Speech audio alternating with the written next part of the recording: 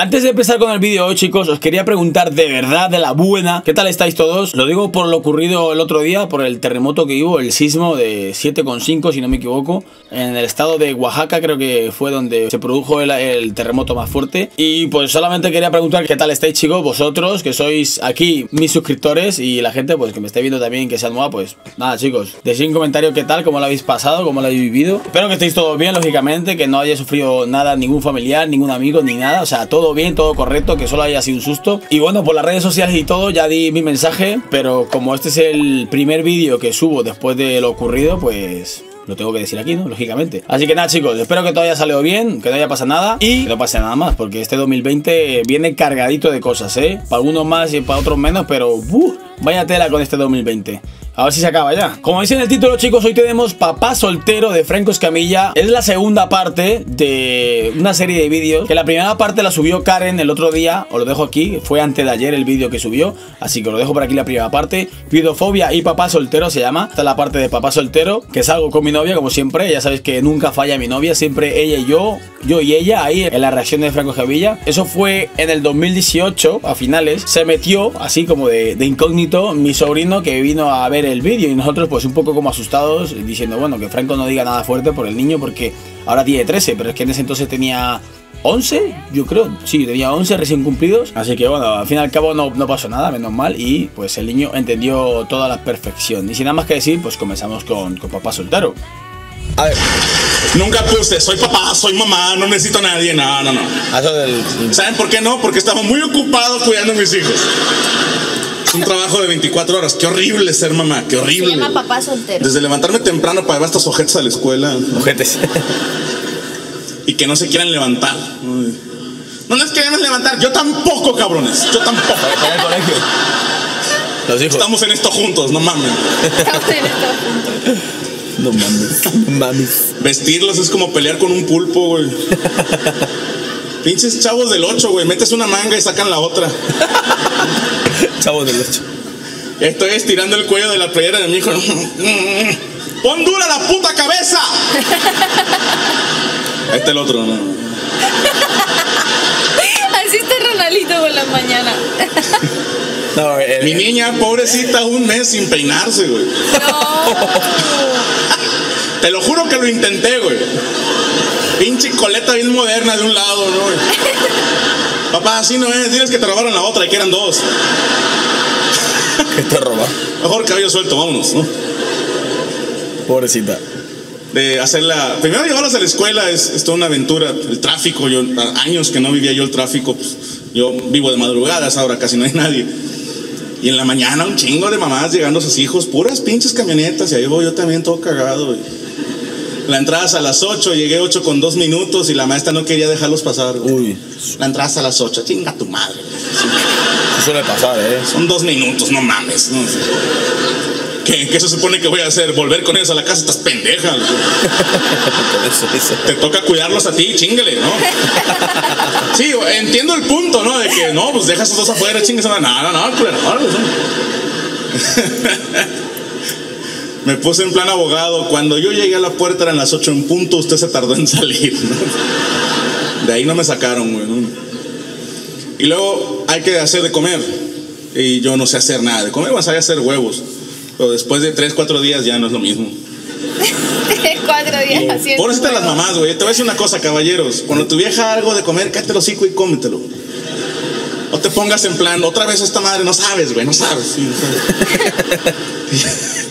Oye, al tercer día no se te ocurre ni madre, güey. Dices tú ya, ya se me acabó el repertorio, güey. Huevo, puro huevo. Y yo quería hacer caldo de pollo, no sabía hacer caldo de pollo. Dije, bueno, yo creo en YouTube, me puse a ver un tutorial de YouTube de cómo hacer caldo de pollo. Y no lo vi completo, le fui adelantando y la cagué. No.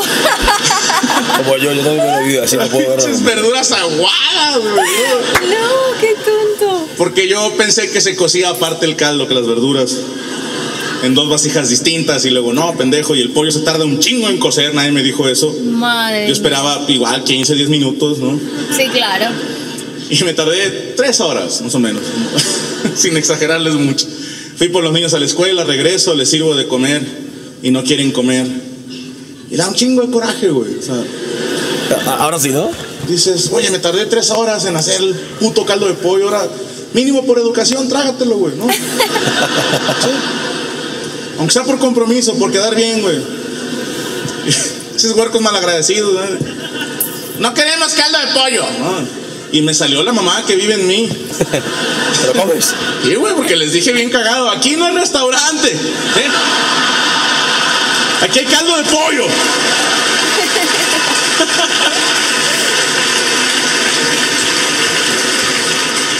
Hay caldo de pollo o no comen, ¿cómo ven? ¿No? Y los dos dijeron, no comemos y se fueron. Uy. Y uno como gordo no entiendes que alguien se vaya sin comer, güey. Como gordo. si tenías hambre, cabrón, ¿por qué? Digo, yo he comido sin hambre, ¿no? Como podrán ver.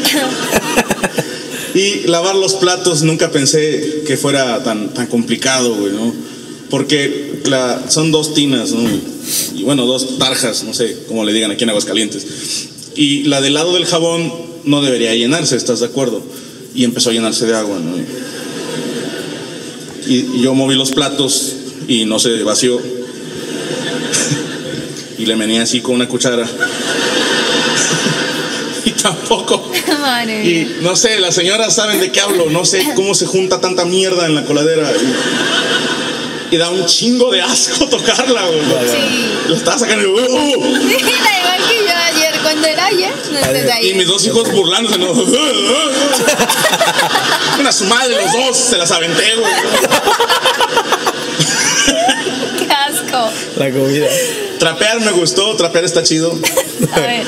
Está chi- chido, Fabio. es- Barrer es lo que chido, odio, bacano. hijo de su puta madre. Me salieron ampollas en las manos. Barrer.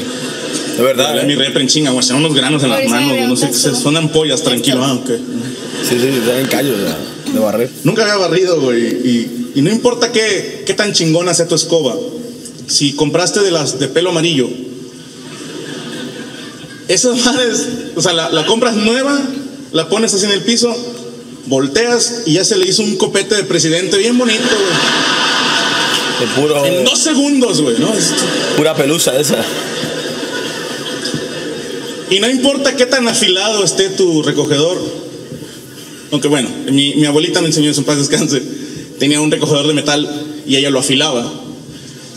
Yo pensé que la abuela creía en el apocalipsis zombie y dijo, ya tengo con qué abrir, ¿no? Madre mía. Pero no, Se la lógica es que lo afilan para que quede más delgadita la punta y recoja más. Bueno, no importa qué tan afilado, qué tan nuevo sea tu recogedor, siempre queda una rayita ahí de- Sí. La rayita. de mierda en medio. Y le das así con todas tus fuerzas, ¿no? Y vuelve y queda. Está la rayita y le das el copete al revés, a ver si, si eso ayuda. Le das otro jalón. La rayita le das con más huevo. Vuelve y queda. Y, ya desesperado en mi lógica fue darle en sentido contrario, ¿no? Sí. Y se volvió a hacer la chingada rayita. Y dije, a la chingada, la dispersé, ¿no? Sí, sí, sí. Que no voy a batallar. Esa es la, la típica, la clásica. ¿Quién ha hecho eso, chicos? Déjalo en comentarios. Hay que hacer tarea con los niños. Ronalito. Con mi niña no hubo pedo, es un puto genio, salió su mamá. Mira, la niña. El niño. Tiene siete años y llega de la escuela, revisa la libreta de tareas, saca los libros, hace la tarea, la revisa ella solita y luego me lo lleva a que lo firme. Y yo todavía le pego a la mamada, ¿no? Sí, todo en orden. Ni idea.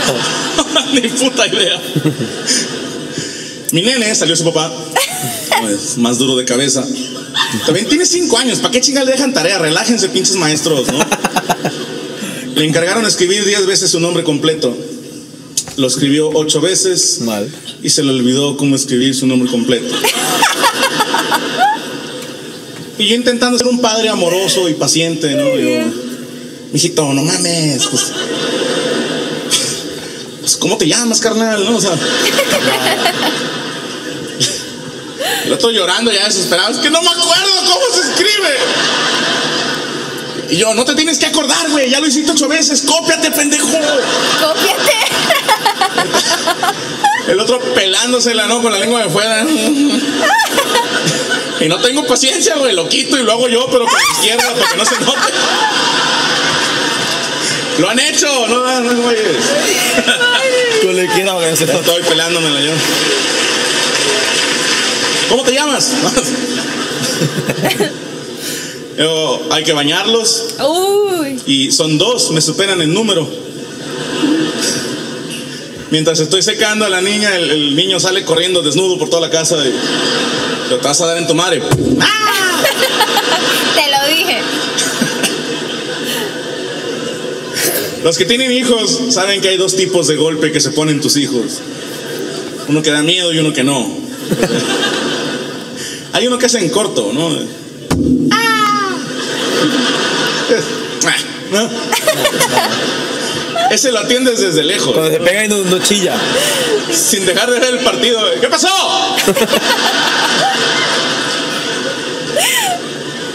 ¿Quién se cayó? Ven para sobarte.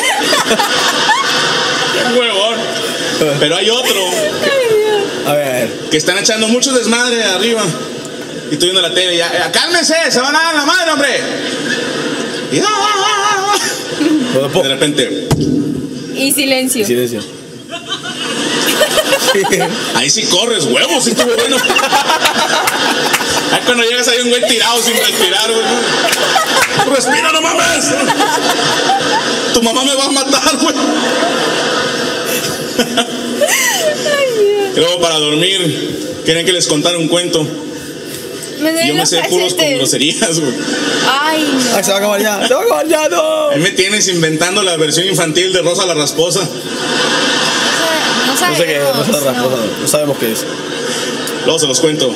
Ah, Ahí se acabó. madre mía. Qué bueno es este hombre. Pues hasta aquí el vídeo de papá soltero. Espero que os haya gustado tanto como a nosotros. Y ya sabéis, chicos, si sois nuevos en el canal, lo podéis suscribir, dejar vuestro like, que siempre me ayuda. Y vamos a ver si en este veranito, chicos, llegamos a los 150.000, que es un número demasiado grande ya de suscripciones. Ya me estoy acercando a los 142.000. A lo mejor después de este vídeo, la gente que está viendo se suscribe si queréis más franco y me apoyáis a llegar a esa cifra. Ya sabéis que todo es gracias a vosotros, así que os lo agradezco siempre. Os daré las gracias, da igual que tenga un millón, dos millones, 15 millones, 35 millones, siempre os daré las gracias porque sois vosotros los que veis mis vídeos, sois vosotros los que os suscribís, entonces, ¿qué más chicos? Si vosotros pues mi canal no sería nada, ¿no? Lógicamente. Entonces, como a vosotros no os duele darle a la suscripción, a mí tampoco me duele dar las gracias, porque, chicos, es así. Y antes de acabar el vídeo, chicos, os quiero recordar también que tengo mi canal de Twitch, en donde hago directos, ya sea de videojuegos o reaccionando en directo también a otras cosas, de, no sé, de memes o demás también. De vez en cuando hago eso. Podéis seguirme, que es totalmente gratis también. Estamos cerca de los 7000 seguidores en Twitch. 7000, ¿eh? Hace nada tenía 3000, ahora 7000, madre mía. También estamos subiendo ahí.